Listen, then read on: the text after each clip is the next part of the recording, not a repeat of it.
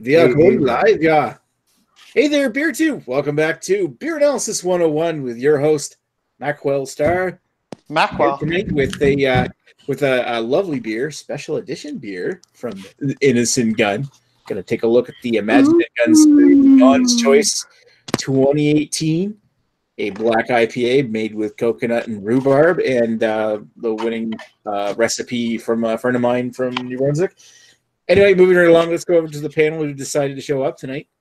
Uh, we've got uh, starting with uh, on the panel uh, from your view because mine's backwards. Anyway, whatever. Starting from left to right, we'll go start with the A's for Ashley Sexton, Sexton Brewing. How are you doing tonight? I'm doing very well, Mackwell. How are you tonight? Mackwell. Oh, Mackwell. Mark Star. I'm doing great, thank you. Right on. You did, yeah, yes, whatever. Hey. All right, Mr. Redbeard, how you doing t- tonight, sir? I'm doing very well. Thank you very much for having me, Mackwell. thank you for coming on. All right, and another one I'm happy to have here tonight is, uh, of course, Mr. On the Tenth, and off the tenth now himself, even though tenth sign. I am, I am, I am off the tenth and I appreciate you for uh, for inviting me to this uh, thing, even though it's taken us a while to, to do this. But uh, you know what, yeah. Mackwell, you're the best. Mackwell, you rock. Right on. Um, and uh, of course, last but definitely, well, I keep calling him least, but we're all equals here to a degree. Uh, Mr. Greg, how are you doing tonight?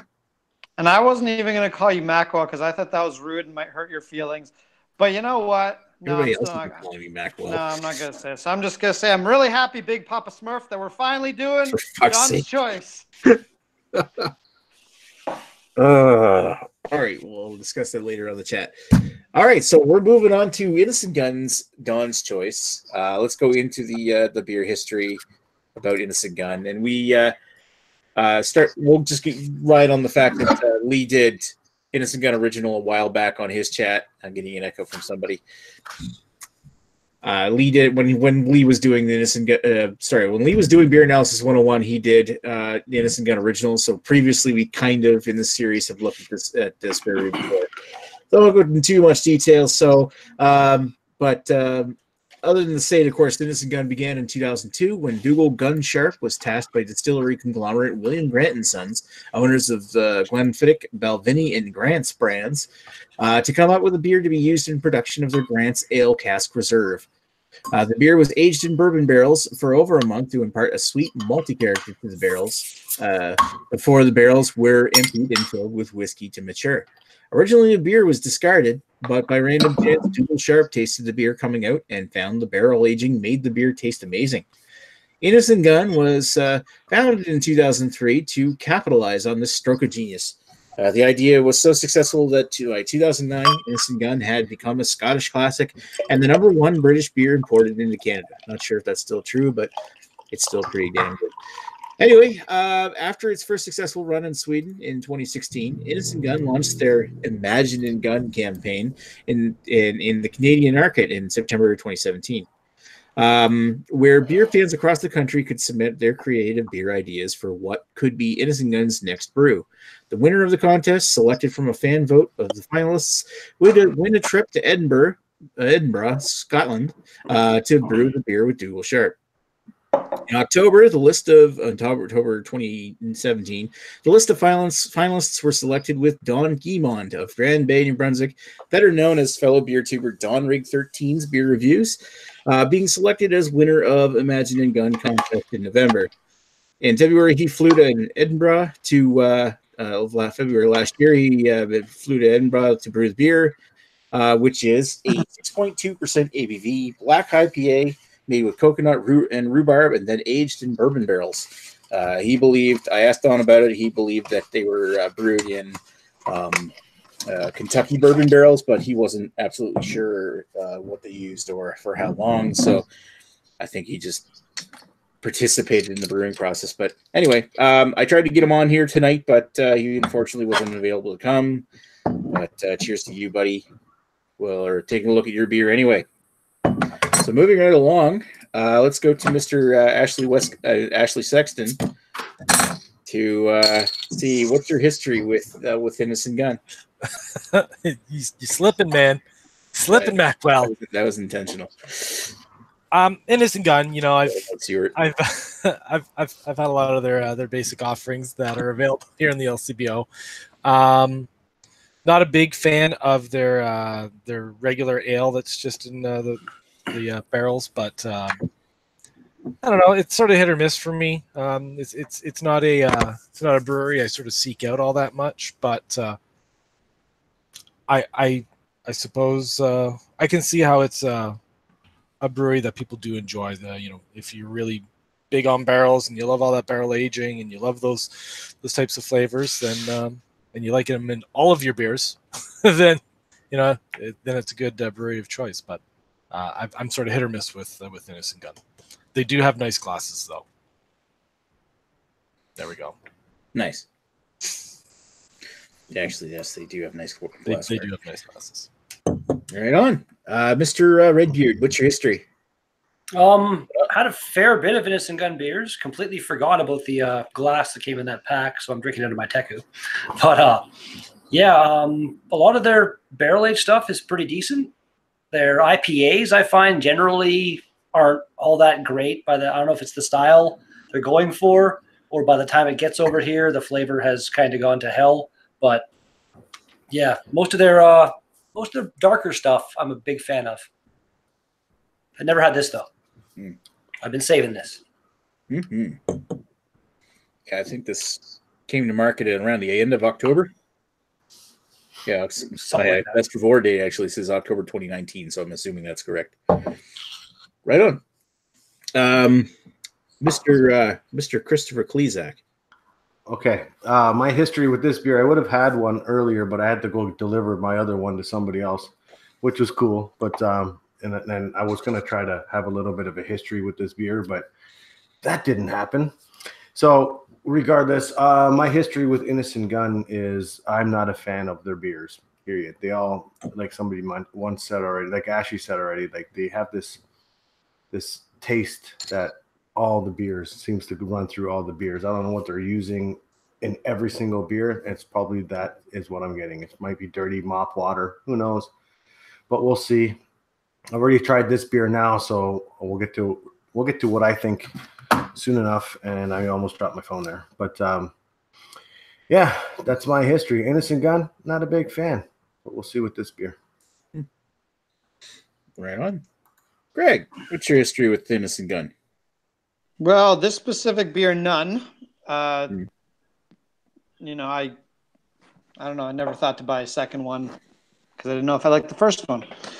Uh, so in terms of Innis & Gunn, like actual, the brewery, uh, I've had quite a few of their beers. Uh, I don't know. I'd have to check to see exactly how many, but I've probably had about you know thirty or so of their beers.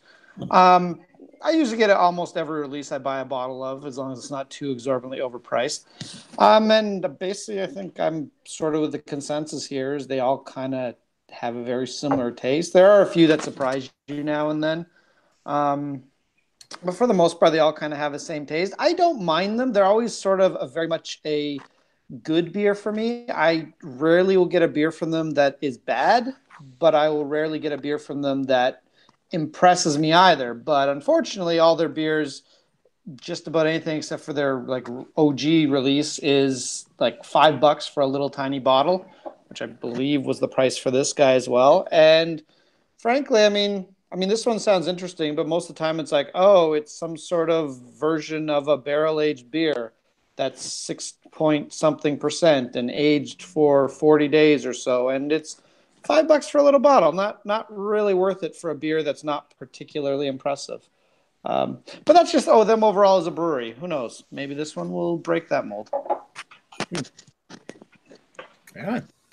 All right. As for my personal history with Innis & Gunn, I think the first time I ever tried Innis & Gunn beer was either 2009 or 2010. And it was back when they still made the, uh, like when Innis & Gunn first came out, there was like two versions that were available. There was a blonde, and then there was the original. And the blonde, um, the first time I had it, it was, you know, it was back when they were in clear bottles, and it was just Skunk City. So I had a really bad experience the first time I ever had a uh, an Innis & Gunn beer. The second time I ever had an Innis & Gunn beer, I bought one of the originals. This one was a lot fresher, even though it was still in clear bottles. It was nice. I, I in the review that I did, it was right as I started doing the reviews in Maxwell Stars beer review, and in 2011, and uh, my exact words were, "It was like sex in a glass." We all know that's not true. There's nothing compares to being anybody, but I thought it was damn fucking good the first time I had it. Over the years, there's been a lot of releases that from Innis & Gunn that uh, have been top. They really used to be pretty damn top notch. Um, but when as as uh, as time moved on, like there it just became more not so much that after a while they the new releases they put out seemed to be one trick ponies. Like they would just take a X barrel and put Y beer into it, and it's kind of like relying heavily on just using the barrels to define the uh, the quality and and and and, uh, of the beer. And over the years, especially in, since about 2014, I think right there, it's kind of dropped off slightly. And uh, more recent releases like Kith and Kin or Kindred Spirits have kind of been, eh. Um, I still buy them whenever they come out because I still like them, and I, I did enjoy Blood Red Sky that that they had recently, and Kindred Spirits still really wasn't that bad, but um, but as far as uh, releases, I mean, they haven't really hit like I think they peaked with me uh, when they were if anybody remembers the original uh, like Irish whiskey cask uh, or Irish whiskey barrel uh, beer that they did back in 2013 I think Chad sent me a bottle of it. It was one of the best beers I'd ever had from this brand. And um, I miss those days so I think coincidentally maybe around the same time they started doing doing this Ochre Raider stuff well, I might be wrong on that, but uh, as far as this beer goes, uh, I of course I bought it when the moment it came out. Uh, I'm not going to give uh, my thoughts on it right now, but I'm just saying that uh, I've I've had several bottles of this by now, and I was really hoping Don would come on tonight, but of course he didn't. Oh well. Um, so moving on along to what do we have for uh, for comments? Ashley, you want to read them for us if you if you're if you're capable? Yeah, yeah I can do that. If you're capable. I, I am capable. Sure may not be willing, but I will do it anyways. um, Lee Russell is imploring us to please keep this professional, keep it classy, maybe for Don's sake. Um, uh, Rainy and Your Parade is in the chat. They're going back and forth. Um, Rainy on Your Parade says no Don. Probably has a really busy, really busy, so go easy on him. We will. Yeah. I, I don't know the guy, so but uh, I'm very jealous that he has his name on a beer. Uh, Eric Gilbert's in the chat. Hello, Eric. Hey, Eric. Um, Lee Russell, all equal, more like Macwell Marxist star. That is a that's a pretty accurate description. Call me a damn. Uh, quite the communist when he's not. When you guys aren't seeing the chat, man, you should listen to this guy. He's out of control. Um, oh, Craig from Ked Beer Reviews is still on some uh, tropical hey, island somewhere in the mid Atlantic. Um, good evening. Um, let's see. And Eric Gilbert, he drank all of his Don's Choice over the holidays. So drinking an Oskar Blues Hotbox Coffee Porter. I saw those packs in the LCBO. That is actually very good, and I think it's quite worth buying for eleven bucks. I think it's eleven bucks a four pack, and I quite enjoyed it. I got one left. Oskar Blues. And uh, yeah, I, oh, sorry. No, um, I kind of. I'd rather oh. wish that you got awesome stuff like that in New Brunswick, but I digress. And uh, and Yurt actually has something uh, cordial and polite to say. He's like, "I enjoyed this beer. Congrats to Don." And uh, that is probably the only uh, the only thing of note that Yurt will say all night. Yeah, I mean, I, I can I can be upset if I wanted to about Don not coming in, but at the same time, I, I'm really proud of him for for having this, and there's not really much bad I could say about the guy because he's an incredibly nice guy when you meet him in person. So, I got nothing really but good things to say about him, and I'm just mm-hmm. disappointed, I guess. Anyway, um, yeah, let's move. Anybody ready to give some uh, some thoughts there? I'm I'm ready to go, Coach. Put me in, Coach. Y'all ready? Y'all ready for this? Dude, dude. Put me in the game, Coach. Put me in the game. Put me in, Macwell. I'm ready, ready to play. Play, play center field. All right, go uh, go ahead, Darash. Okay. Uh, first off, thank you, Chris, for the beer. Uh, if it weren't for Chris, you would be uh, less one member tonight. Damn right. And um, Way to go, Chris. That may that may be a good thing or bad thing. I I, I don't know. Um, so this beer, what do I have to say? Uh, I got a few things to say about this beer. Uh, first off, as, as I mentioned, I'm, I'm very uh, envious and jealous of Don to have his name on this. Um, I didn't even know this contest existed. Um, this is a very unique idea of beer. Um, I wouldn't have even known to how to approach this beer if I was brewing it myself. So kudos to Innis & Gunn for pulling it off. Here's my analysis of the beer. So if I were to close my eyes and take a big whiff of this beer, I would think it reminds me very much of a strawberry rhubarb pie. Um, the rhubarb was super fresh. You get a lot of the, the, the rhubarb on the nose, the, a nice tartness right off the bat. Um, and then uh, get like a like a graham crackery type of um, aroma on the finish, something that rem- like sort of reminiscent of, like a like a nice biscuity bready crust, right? Um, the flavor uh, right off, you know, the, the, it's it's not bittered like an IPA would be.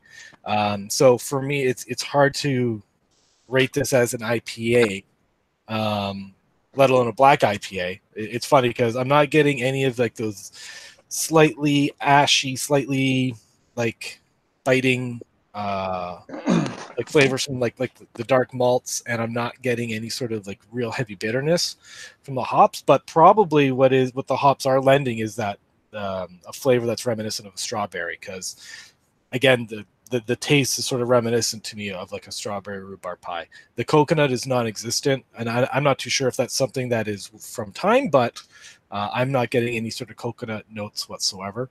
Um, drinks very easily though um, it's enjoyable. Um, if if I had to make this a style of beer, I would probably. It's gonna sound stupid, but it's probably like a black pale ale, if that makes any sense. It, it has a bittering more of a pale ale than an IPA. Um, so overall, uh, to call this a black IPA from a style perspective, I'm sort of I'm just gonna give it a five out of ten. Um, it, it, doesn't quite hit all the notes that I, I would expect from a black IPA. You, you know, um, again, some of those like you know just the bittering notes like altogether from from hops i'm just not getting it whatsoever. And then just so like those dark rich uh, flavors from the from the malts I'm, I'm not getting that either that i would expect from a black ipa personal enjoyment though it's quite enjoyable. It drinks really easy super smooth. Um, you know it's it's light to medium bodied it's not heavy. Um, the alcohol is well hidden. It looks great in the glass. Tastes great because I love strawberry rhubarb pie. So, from a personal enjoyment, I'll give it a seven out of five. There we go. Ooh, right Your seven, your seven is probably out of ten, not out of five, but close enough. Uh, oh, I meant to say seven. So you're saying 5. 14 then, right? Seven point five out of ten for personal enjoyment. Seven point seven point five. Yes. Okay, I'm writing it down. Sorry. 7.5. Thank you for the call 7.5. out. I'm, I'm I'm stupid. No, you're My not. apologies. Anyway, whatever. You're Canadian. You're So apologizing for stupid, whatever. stupid. All right. Stupid. Speaking of stupid, let's go. No, I'm kidding. So let's go over to Redbeard. Thanks, buddy. That was great. Um, I gotta kind of agree with Ashley on the uh, like doesn't really come across as a black IPA. The taste I'm getting as far as like the IPA flavor is kind of similar to like I was saying before, how their IPAs maybe they taste like they're supposed to, but I feel like they taste a little bit old kind of thing. Like the hops are kind of dropped off. The overall flavor though, the rhubarb is there, the, the coconut, I only really get with like the absolute at the very, very back end of the flavor profile. There's like a little bit of kind of toasted coconut flavor, but it's enjoyable. Um, I can't really go in- into quite as much depth as Ashley did because, uh, you know, I, I don't know anything. So, um, style wise, I'd, I'd give this like a six because it really doesn't come off as a black IPA. Um, but uh, enjoyment, I'd give that a pretty solid eight. I'm actually really enjoying this. It's nice. Nice. So you said it was eight overall. What was the other score? Five. Five. Right on. Mr. Chris. Oh, black IPA. Where's the chocolate? That's what I want to know. This was okay. This one I expected something and I didn't get. What I'm getting out of this is just a, an, an incredible rhubarb juice. Is what this is going. This is a rhubarb bottled into a juice. Is basically what it is. I mean, there's it's hiding at 6.5 percent alcohol. It doesn't taste like there's any booze in this at all, which is fine. Whatever. And if that was their idea, then that's their idea. Um, coconut no, sorry, Joe. Don't even bother. Has no coconut flavor for me anyway. On my in my own opinion. See what I did there. Um, what else to say about this one? I'm just reading the back of this thing. I'm just like, you know what? It's okay. It doesn't taste like uh, earlier. I said Innis & Gunn uses and has the same taste throughout all their beers. This one's a little bit different. I'll give them that. This one comes off as a different Innis & Gunn beer as opposed to the typical same dirty water taste that I get in every other one. Um, with that being said, style wise, I got to bring it down for for it being not what it is. So I'm going to bring it down to a four out of ten for a black IPA, which it's not in my own opinion anyway. But in my other own opinion, fuck, I gotta stop saying it now. Uh, personal enjoyment. I don't mind it. I mean, I don't mind rhubarb. I don't mind. Uh, Ashley was saying, you know, strawberry rhubarb pie. By pie, I can see where where he was going with that, and yeah, it's quite enjoyable. It's not offensive at all. I mean, you can you can really like pound these back. You, I mean, you're gonna have at six point, what is it, six point two percent? Yeah, you have three or four of these, and you're gonna start feeling a little bit of a buzz, and that's cool. That's fine. It's it's more of a sessionable beer. Sure, why not?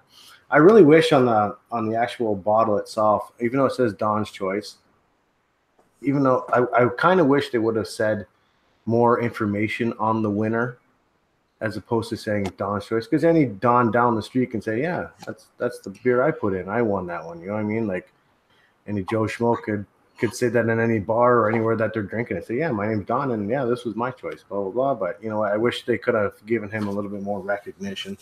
Maybe they did on their website. Maybe they did during the promos and all that stuff. That's fine. But just any Joe Schmo at the, at, the same, at the, same, time though if, if you're the kind of person that's going to try to take credit for that and like your friends are dumb enough to believe you and not look on their phone in two seconds well i know that but i mean you know whatever but uh, i, I kind of wish that they would have had a little bit more information on don himself on the bottle itself or even on the packaging i will agree with that they do have like a bio for him kind yeah, of yeah that would have been nice um, some, some, some kind of history on him or whatever yeah right? like or if you go if you go to Innis & Gunn's website they actually have like a video well no that's good well then then that then then that's appreciative. Uh, but hmm. uh, other than that, I'm rambling on. A uh, funny story about this uh, beer passing it off to Ashley when I went to meet him at his work.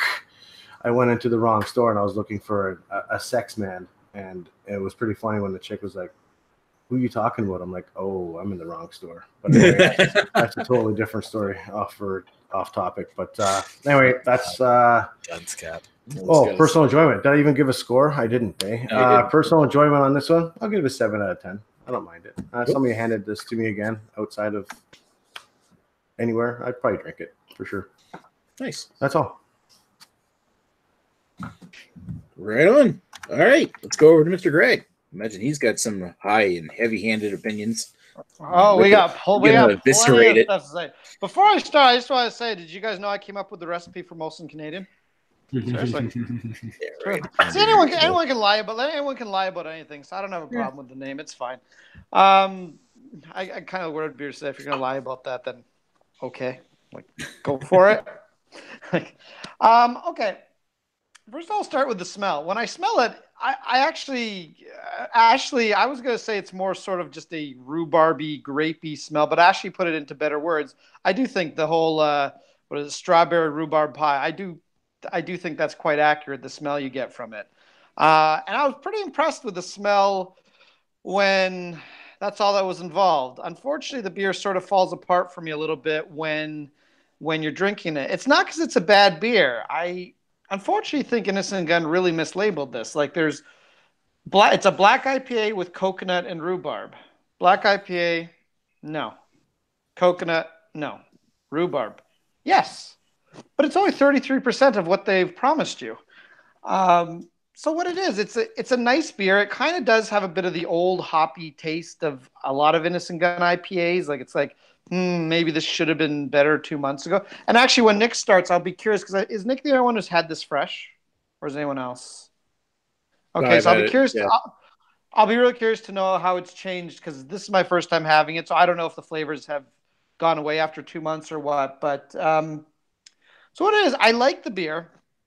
I just I just feel it's false advertising how they've labeled it. Um, so, you know, to me, it kind of if I'm going with a style, I mean, if I were to really be strict and rate this as a black IPA, it would be like a one. But I I don't think that's really the style they're aiming for. I think maybe they made the packaging. I, I wonder if they made the packaging before this beer was even released and they got or it was finished and they got to taste it. So I mean, I'm just gonna say it is a pale ale type beer. I'm gonna give it like a five. It's not great, but it's I, I don't think it quite knows what style it wants to be as an enjoyable enjoyment beer, it doesn't taste like other Innis & Gunn beers. It is unique. It to me, it tastes like a nice fruit beer. Like it's tart, but not too tart. Um, it's got a nice flavor to it. I mean, I I wouldn't go out and spend another five bucks a bottle on it, but that's usually the case with Innis & Gunn beers. I you'd have to be a pretty impressive beer for me to spend five bucks on a beer this size. Um, uh, but I mean, overall enjoyment, it's a nice beer. I'm gonna give it a. I give it a seven out of ten. It's it's quite enjoyable, and I, I, wouldn't be opposed to drinking it again. I just don't see myself going and getting another bottle. That's fair enough. I'll agree with that. Like the the price for the amount is yeah. That, uh, with, with, with a lot of Innis & Gunn special edition beers, it's you expect, right. expect, you expect a lot more than you get, kind of. And that's kind of one of the things that's been about uh, about Innis & Gunn's beers in, in in recent history is that the they come out with this five dollar beer that you're excited to try, and then you take it, taste, and it's a little too bland or mild for what you get. Like Kith and Kin was was like that. I how expected more. How about you get rid of this box and then knock a buck fifty off the price? Yeah, it was like three fifty. I'd buy these all day.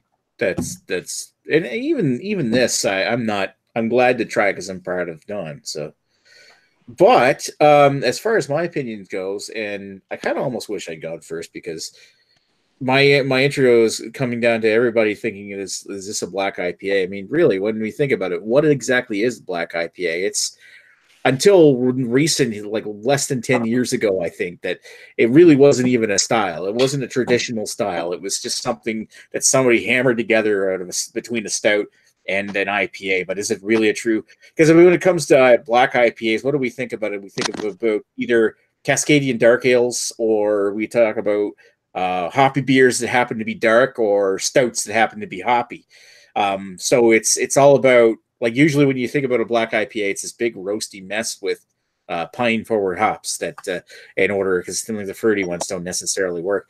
And this one here, um, I find like if you call it the black IPA, it's very mild in that department. I mean, the British style of, of IPAs tend to be a little bit more traditional hops, like uh, more like earthy, like uh uh, wait, earthy, fruity, or something like that, as well as being very dialed back in the hop quota. quota. Um, and, and it's also, as far as the black goes, it's very, that's also very muted as well. But I think in this beer specifically, it works for this because it's it's not matching to me the black IPA style, even though we're saying what exactly is a black IPA style. Uh, well, but that works here because it, I find that it doesn't mask the other flavors that you're getting into it. It's not big replacing everything with a big roasty mess or big hoppy mess. It's overriding what you really want to taste out of this beer. And this mildness in the backbone kind of brings the rest of the flavors forward without obstructing them. And I find that you do I do get the coconut out of this. I do get the rhubarb out of this. And yes, I do get the coconut. Uh, it kind of to me blends into this nice uh, and little bits of chocolate and caramel, and I, I get this taste that kind of melds into biting into the flesh of a crisp candy apple, like a red delicious candy apple, where it's got that that uh, you get that big apple taste as well as this nice uh, sweet candy out out uh, outside. Um, and, and and of course, in one of the biggest things that really surprises me in this is just how much rhubarb actually works as a beer ingredient, and I'd be excited to try other beers. If somebody actually made a strawberry rhubarb beer, I'd like to try that. Although I, I think that that would come off almost cloyingly sweet in that department, but uh, it doesn't have to be. I've made it and it's good. Yeah. Okay. Uh, yes. I take your word for it. Maybe we should do a beer analysis on your uh, home. Well, we'll see. We'll see. All right. Um, if, but that's, sorry. sorry. Go on. Go, go on, Captain. All right. Uh, anyway, guys, for this for this goes, um, I'm almost done my my glass, and I'm finding this really smooth and enjoyable. As far as my personal opinion of it, if we were to call this like uh, an, an an IPA um, style a black IPA style. It doesn't really match that too well. So, like everybody else, I'm going to give it a lower mark on that department because what is a black IPA? Anyway, I'm going to give it a six and a half. I don't hate it as much as everybody else does. But as for personal enjoyment of this beer, I got everything I wanted out of this beer, and I'm really enjoying how tasty and smooth and easy drinking this thing is. 8.5 uh, for that out of 10. Are you I've drinking a heard- different beer, Nick? Is, is that what's going on right now? 'Cause- Trying to figure Nope. out what's going on here, Nick. And- It- I'm It's- it's- hey, it's a personal opinion. I get It's it. I'm in just- his own in your own opinion. opinion. I know. I get it. Answering bugging. Greg's question of whether or not this has changed since it was fresh, I think there's a little bit in the background that's kind of turned more into like a like a papery, cardboardy, resiny kind of kind of taste. Like this weird aftertaste that's grown more and more the more I try this over the course of the last three months that this has been out. But overall, the uh, the sweetness, the flavor, that and the and the, the rhubarb and coconut flavors, have, are, they're still there. Maybe not. Maybe it's not as potent as it was when it when it uh, first came out, but it's pretty close. Was there any So- coconut in the fresh one? I know where the coconut's there. Damn it! So I would have two things to say about this too while we tabulate scores and all that fun Did, shit. did Jamie have anything to do with this one? Did Oh, you yeah. read- Oh, yeah. Oh. Don't forget Jamie. We got to hear Jamie's reviews and stuff. Oh my god, you missed it all, didn't you? Didn't you have more? Forgot than my- one? Yes, that's right. We had a virtual Jamie. Uh, Oh, that's Do you sad. need me to fill 30 seconds Do we need to start over? Is that what we're doing right now? no, no, I, I'll just bring it up on my phone. Everybody regurgitate your beers.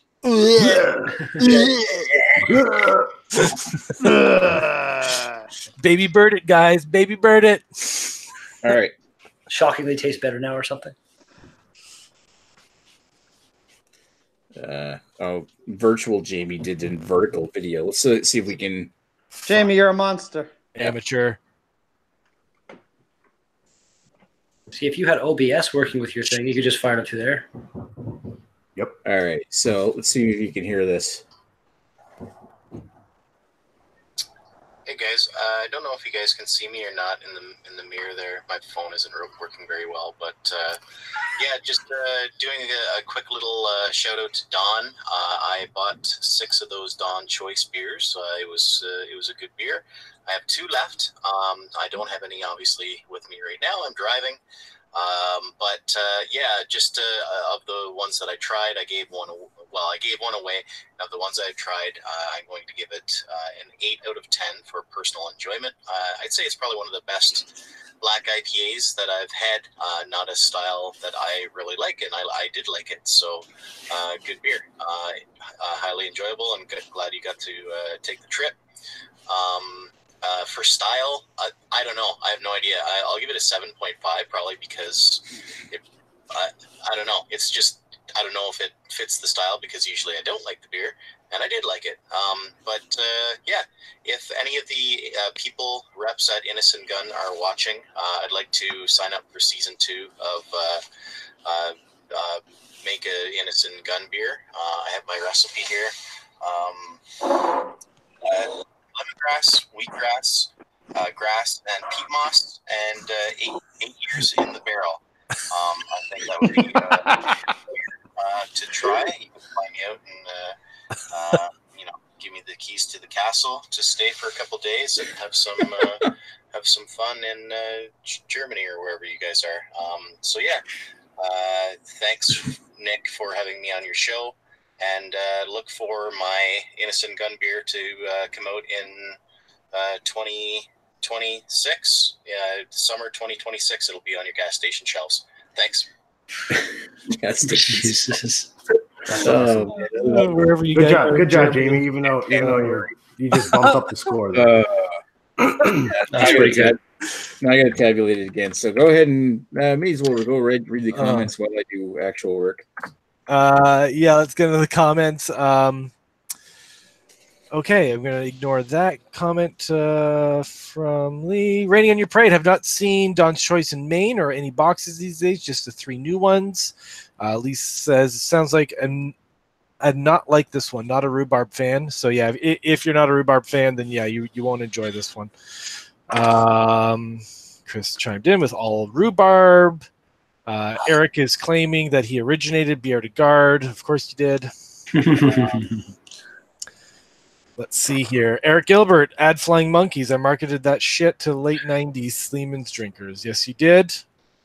And uh, Lee just chimed in with something we all think is uh, true, and that's Jamie rules.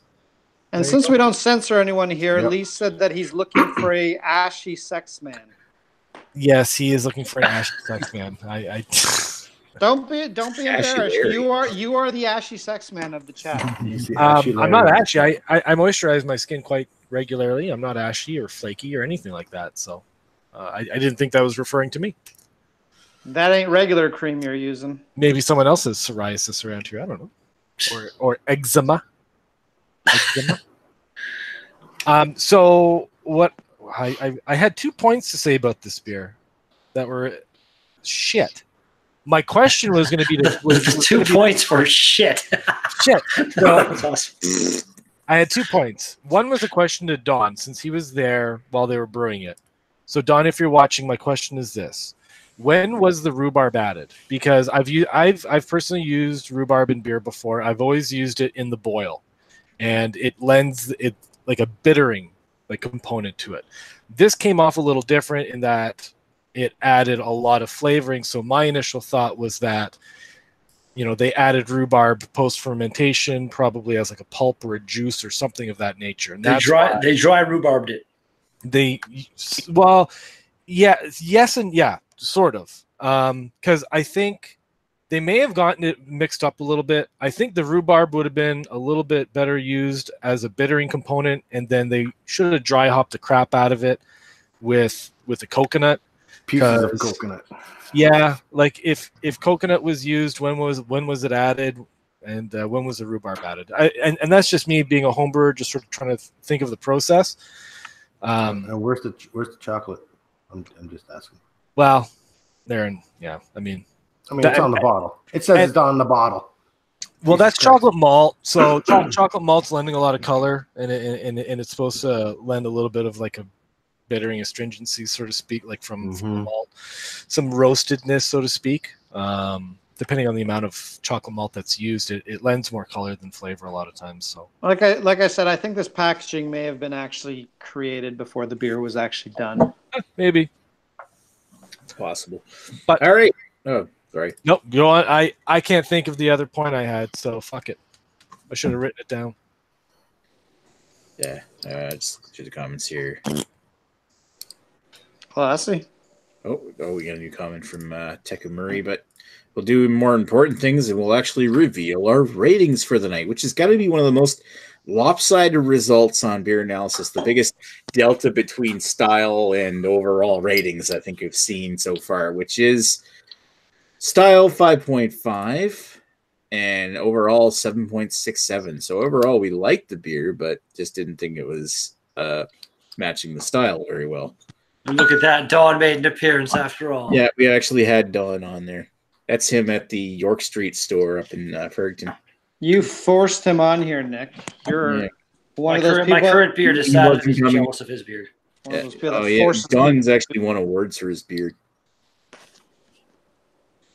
I'll be back, baby. He does have an amazing beard. Anyway, all right.